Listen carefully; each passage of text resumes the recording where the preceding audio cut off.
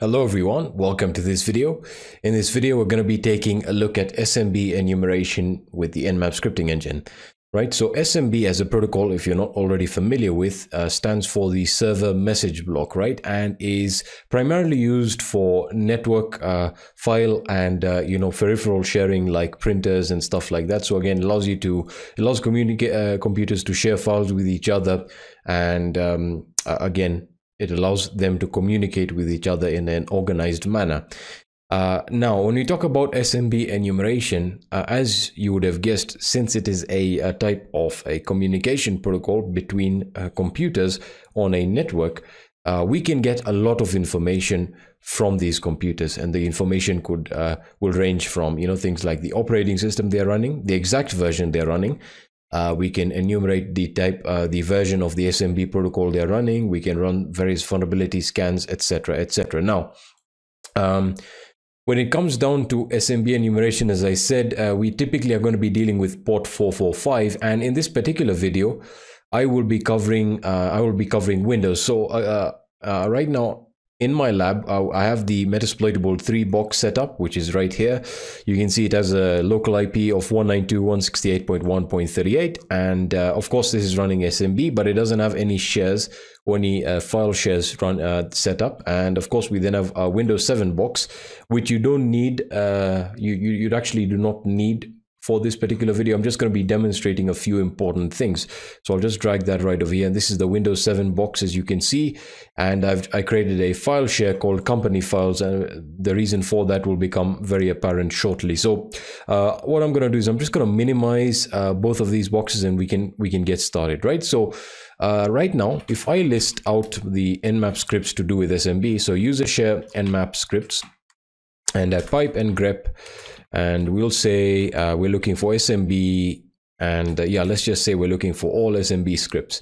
All right so you can see we have uh, quite a few but not a lot but uh, there are a few important ones here that are going to be quite useful. So for example uh, let's take a look at um, the SMB double pulsar backdoor script which again a lot can be used to perform uh, a type of vulnerability scan that will actually scan uh, your system or a particular system to see if it's vulnerable to the double pulsar backdoor. And this is closely tied into MS1710, uh, which is the Eternal Blue exploit, which allows you to perform remote code execution and is uh, again affects uh, a lot of the older versions of Windows. And in this case, it actually affects both Windows Server 2008 and the Windows 7 box. And I'll be demonstrating all of this shortly. So the first thing we want to do is we want to enumerate the operating system that is running on these two devices. So our scan will be fairly simple. We're going to say sudo nmap. We're going to specify the port 445, right? And um, what I'm going to do is I'm going to say script, and we will say smb um, os uh, discovery, right? So that is the script name, and then I can pass, uh, I can actually specify the target. So 192.168.1.38. Let's start off with the Windows uh, Windows Server 2008 box, which is the Metasploitable box. So I'll just hit enter and there we are. All right, so you can see we get the results immediately and uh, we get the, the target port, we get the MAC address, and then for the script results, we get an exact match uh, regarding the operating system that, uh, that that particular box is running. Now you can see how important this is. We were able to get this information directly from just one port, and that is of course the SMB port. So we can see it's running Windows Server 2008 R2, and it's running Service Pack 1. So this can be very useful in trying to find potential exploits as we'll, we'll, we'll get to in a second and also can be used to again plan out your attack vectors and how you're going to perform privilege escalation stuff like that find potential cves so on and so forth. The other important information we get is the computer name. So we can see the computer name is vagrant 2008 r2 the net the NetBIOS name which is uh, again vagrant 2008 r2 we get the workgroup that is associated with and the system time and uh, that can be very useful again.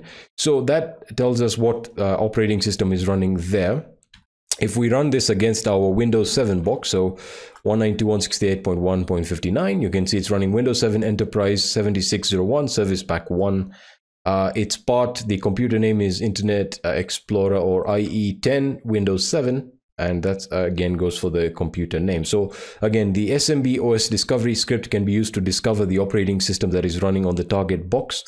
and uh, yeah you can see it's a very very useful script now now that we've established the the actual um, uh, now that we've established the actual operating system that's running on the box, we can now start enumerating some more information using the SMB port and the various SMB scripts that we have uh, at our disposal. So the next one is we can say sudo and just use the previous script and just switch out the script names.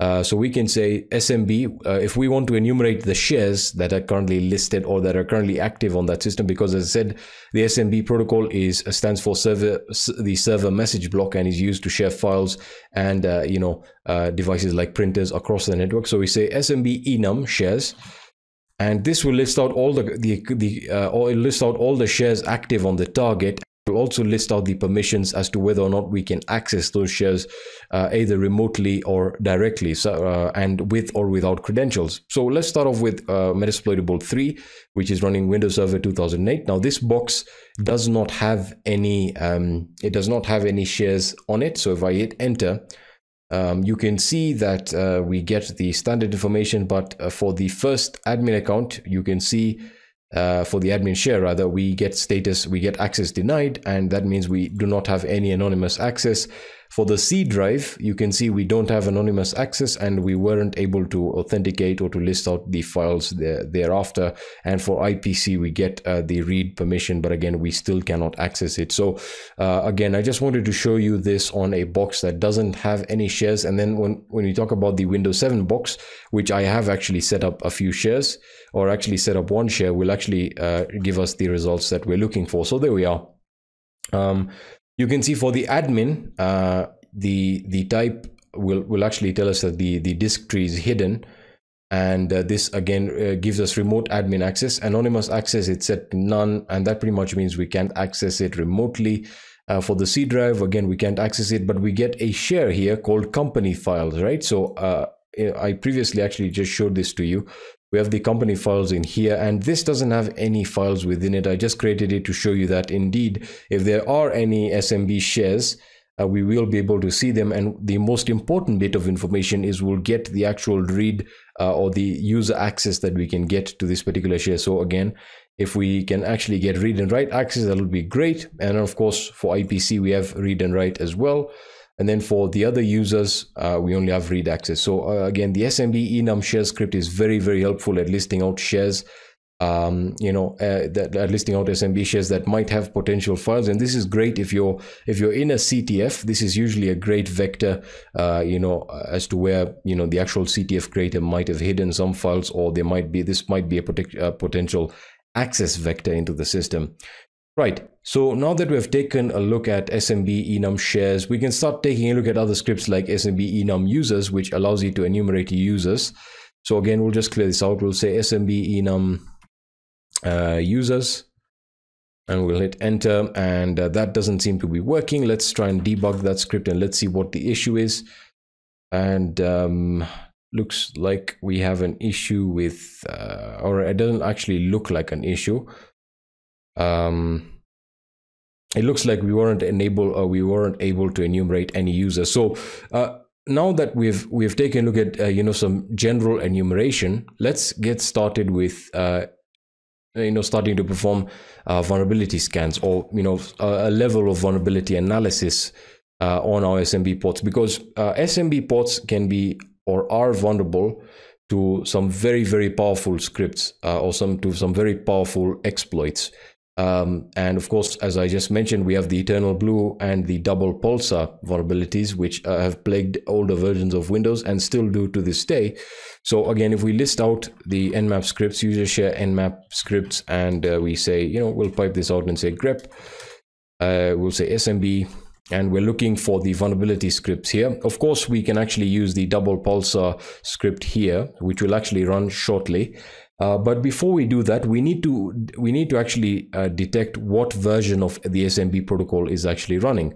So to do this, again, all we need to do is just change out the script here and say we want to um, we want to enumerate the protocols. So this is going to be SMB protocols, uh, and this will essentially just list out the version of SMB and the actual uh, the actual password structure. So uh, protocols SMB protocols, and we'll start off with Windows Server 2008. We'll hit enter and you can see uh, it tells us for SMB protocol, we're running NTLM, and this is SMB version 1, dangerous but default. So again, uh, it just gives you an idea of the actual version of SMB that is running, and that again can be used to, to again plan uh, your attacks as you move forward or your exploitation. Um, so again, this will pretty much be the same on the Windows 7 box. So if I hit enter, you can see it's going to also going to tell me it's NTLM uh, SMB version 1 and there we are. So again, we now that we know the protocols that are running, the operating system that's running, uh, we can now start performing our vulnerability scans. So uh, what we'll do is we will just run the uh, double pulsar script, which is a backdoor and um, SMB double pulsar backdoor. We'll try it on the Windows 8 uh, 2008 box, Windows Server 2008 box, and hit enter. Uh, so we don't get results there. Um, let's try this on the Windows 7 box. We hit enter, so that doesn't seem to be working. It's primarily because we need to specify a few script arguments. Uh, but before we do that, I want to take you through the Eternal Blue exploit or the Eternal Blue scanner. Uh, so uh, again, I'll just list out the Nmap scripts here and we'll just use the shortcuts. There we are. And uh, we are looking for MS17 uh, 010 which is the uh, eternal blue exploit. And uh, i'll actually show you this. So we can actually use the script to test and see if our targets are vulnerable to this uh, exploit which again is a remote code uh, a remote code execution or an rce exploit. So we'll just run this script scan here and um, we'll run it against the windows 2008 box. Hit enter and uh, you can see immediately we are, we are we are able to get the information we were looking for. So it is vulnerable to the remote code execution vulnerability that is currently uh, again affects smb version 1 so that's very important. And again as i said getting the protocols can shed light on what type of attacks the uh, the, the current version of smb is vulnerable to. So you can see we get the, uh, the the state and the ID and the risk factor, which tells us you know whether or not this is we are more likely to exploit it or not. All right, so that is pretty much all that I wanted to cover in this video. As you can see, SMB enumeration is a very, very good, um, very good way of enumerating a lot of information about the target operating system and information that can be very useful uh, as you move along with your penetration test. So that's going to be it for this video, and I'll be seeing you in the next video.